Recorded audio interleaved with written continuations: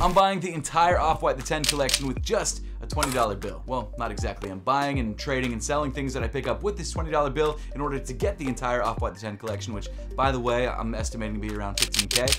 Didn't realize it was that much when I first started this series, but that's where we're at. So we start off the week with a bank total of $193.05. The first stop this week is Ross. So we're here at Ross looking for steals and deals. First thing I'm finding is this pair of Giannis for $49.99. Probably not worth it. We got some Hoka hiking shoes, some Pumas, bunch of Vans. I always see Vans here, but none of the good colorways, unfortunately. Got some rainbow Crocs in a huge size. What else we have here? Some flame Vans. Actually, I know I was just saying you don't see any good uh, Vans colorways, but got some Vans that are fire. Whew fire. I don't know. Hold up, we got some Adidas 4Ds. 4D forwards for $59.99. This might actually be a pickup. Let me check these guys out. What size? Size 11. That's actually solid. Oh my gosh. We're definitely checking these guys out. So it's women's size 11. So it's actually a, a men's size what? Nine and a half? So it's almost my size. There are a couple sold listings, but nothing like major. They do usually go for more than this though. So I'm tempted. I'm gonna put them back for a second, but I am tempted. Not gonna lie, we got some Hokas over here too, which are actually pretty clean, which might be worth a pickup. Is there anything like crazy though, like any Jordans or any like, not really. I'm not gonna do it. There's not enough sold listings for those Adidas, so I'm just gonna leave them because it might take forever to sell. Ultimately, I didn't find anything at Ross, which doesn't surprise me. I mean, most times I go to Ross, I don't find anything. But there was a Plato's Closet a little bit farther down the road that I hadn't been to in a while, and I figured, yeah, why not check it out? You guys have been kind of giving me crap about not buying enough stuff, which I totally understand. The last episode, I didn't buy anything, and you can't really earn more money by not buying anything. So in order to speed up this series and also make you guys happy, I'm just gonna start buying a lot more stuff. Um, I'm obviously gonna try and make sure that they're good buys and not buys that I regret later, but I am gonna try and buy as much as possible and then flip it as quickly as possible.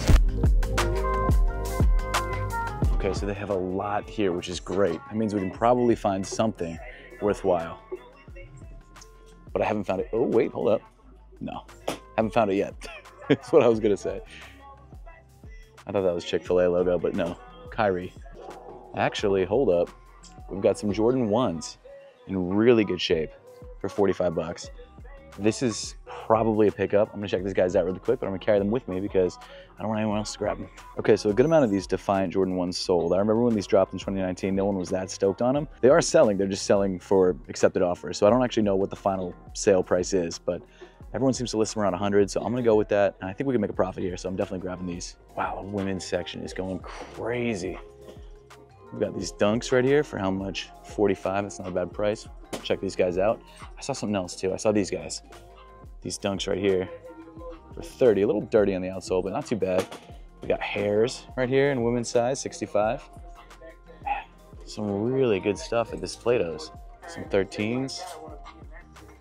All sorts of good stuff. This one's tough because there's not a lot of pairs listed for over 45, but I think it's worth the risk. So I'm gonna grab it.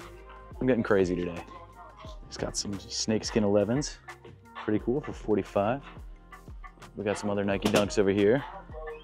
For 40, what year are these? These are, I'm not sure exactly the, the year. Yeah, so these aren't really worth anything. Wow, I haven't seen these lifestyle KDs in forever. They did not do well. I had a pair of these. I ended up getting rid of them quickly. Got some 12s, got some New Balance 990 V5s. I think I'm good.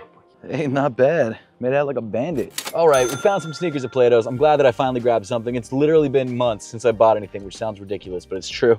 I hate to admit it. First thing we found are these Defiant ones. These ones we bought for 45.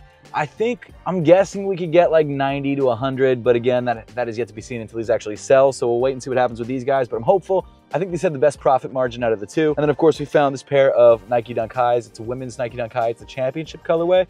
Um, almost like the UNLVs, but not exactly. Well, no, the UNLVs are gray. No, these are just championship Nike Dunk Highs. so these are a women's size eight and a half. 45 bucks as well, spent $90 total. This one I'm more worried about because there was less stuff listed and the stuff that was listed was going for like 60 to 90. So I, uh, I'm not as hopeful with this one, but hopefully we can at least make a profit on that. Um, I took a little bit of a risk, but like I said earlier, I'm trying to take risks in order to, uh, to make profit quickly. So that's the move with these guys. I'm gonna list them on eBay. ASAP Rocky. And uh, hopefully sell them as quickly as possible. So a few weeks ago, I was filming a Nike outlet vlog and I found a pair of sneakers that in my head is perfect for the $20 sneaker collection. So while you may have already seen this Nike outlet vlog and possibly seen some of this footage, I'm gonna replay some of it just to give you guys an idea of what I picked up. Let me check the refurbished section because I got a lot of stuff here today. It looks like got some shod wears, a lot of those in that colorway. Uh, you got some Air Deschutz. Should I pronounce that? Got some Air Max 97s. Ooh, got some Jordan 1 mid SEs for 81, usually 135. That's not bad. Ooh, we got, hold up. We got the Halloween Dunk Highs right here for 63 off of 125. That's actually a dope find. I might pick this up. My size, size 10, I could rock it. That's a dope find. You know what? I think I'm gonna grab these because these are clean. I don't think I've ever seen a price that's better than this, even online. So I'm gonna go ahead and grab these guys for 63. Now, obviously no box, but still. Honestly, great pickup. So I go to the Nike outlets all the time. You guys know that if you watch my channel, and I usually find some pretty decent stuff. However, the stuff that I find, while usually a decent deal, is never that good of a deal to make it worth it for the $20 sneaker collection, especially when we're working with budgets that are as small as this collection has been up to this point. However, today was different because I found a pair of the Halloween Nike Dunk Highs on the refurbished wall, which means that they're gonna sell for half of retail, which is $63, which is unbelievable. So not only am I buying the shoe for half the retail price of $125, I'm also getting a pair of shoes that I could probably sell for over retail price. And it's honestly a pretty cool pair of sneakers, and if it was my size, I might actually keep it. There is one caveat though, and that's that the, uh, the employee at Nike forgot to take off the security tags. So technically, if I walk into a Nike store, they're gonna arrest me. It's not that big of a deal. I just have to go back to the Nike outlet and have them uh, take it off. Hopefully not the same Nike outlet that I went to originally, because that one was like an hour and a half away. Um, but unfortunately, I cannot sell this until these tags are taken off. I tried with a strong magnet. It's not as easy as it looks. Um, I got a bunch of comments in the last video saying like, oh, just use a strong magnet. I bought one on Amazon. It didn't work. Uh, so Nike security apparently is next level. So I just have to go back to the Nike store, bring my receipt, and then hopefully sell these guys for like 120 bucks and make like a $60 profit. So our current bank total is $40.05, which is not a lot of money, but we do have three pairs of sneakers in inventory, which I think have some pretty good resale value. And actually, we've already sold a pair. In fact, we sold it within two days of getting it. And that pair was the Air Jordan 1 Defiant that we'd picked up from Plato's Closet for just $45. And I know when I was in Plato's, I was looking at the resale price and I was like, yo, this shoe could probably sell for over 100 bucks. But honestly, in my head, I was like, this is a 2019 pair. It wasn't that popular when it first came out.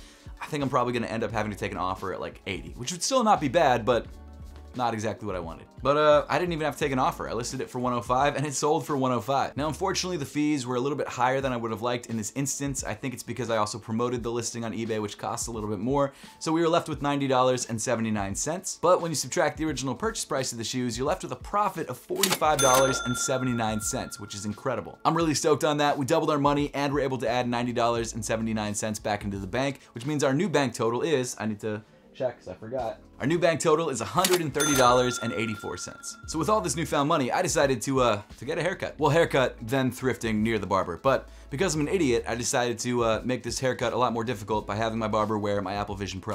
Yo, what's good, man? How you doing? Good, man. Yo, what's up? How you doing, man? I want you to be as comfortable as possible. If it goes bad, just take them fun. off. This is fun. Don't be scared. I got you. It looks good. No, I I like it. I'm telling you, there's nine screens up here. And just only look at it and then click with your fingers, like pinch.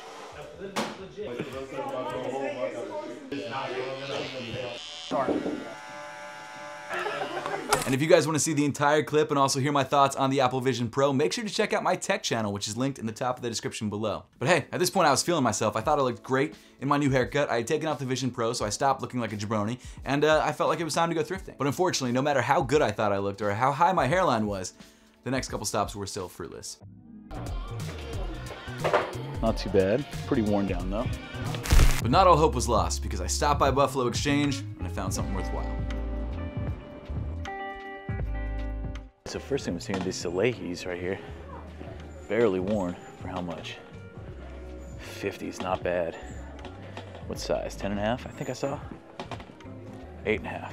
That might be a pickup. Let me check these guys out online. Dang, I really thought these would go for more than 50, but I guess I'll leave them. We got some Nikes, some Sauconys. Uh, I don't know what those are.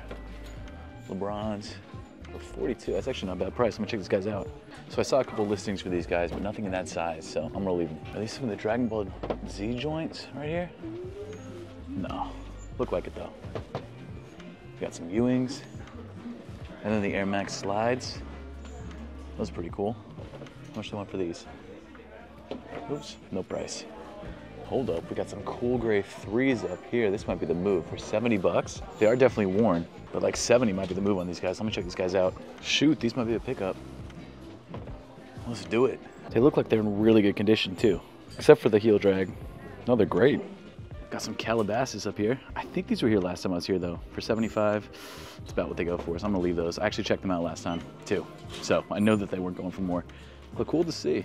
Pretty cool shoe. So yes, this pair is kind of a gamble. I bought it for $70, which was more than half of our entire bank fund, which currently sits at $60.84. And like I said earlier on in the video, I'm trying to buy as many sneakers as I can because I can't make a bunch of money if I don't buy a bunch of sneakers. And based on my research on eBay, I feel like this pair will move relatively quickly. It doesn't have the box.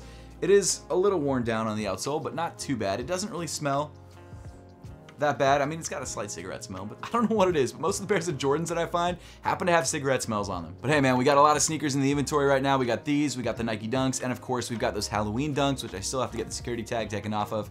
Haven't done that yet, but I will. And uh, I'm hopeful. I honestly think before the next episode, we'll probably sell all three pairs. Don't hold me to that, but that's my guess. but guys, that pretty much wraps up the entire video for today. Thank you all so much for watching. Make sure to subscribe if you like this content, and I will see you all in the next one.